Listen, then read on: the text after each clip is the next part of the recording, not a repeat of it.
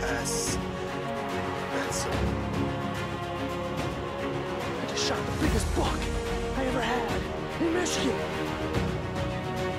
those are the moments right there.